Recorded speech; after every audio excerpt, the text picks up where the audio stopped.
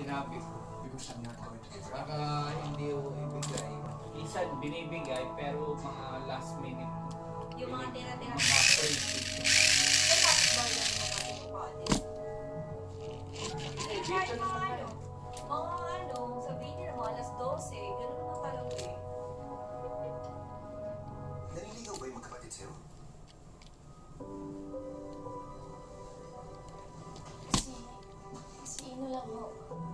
Ino lang. Eh, parang naliligaw rin si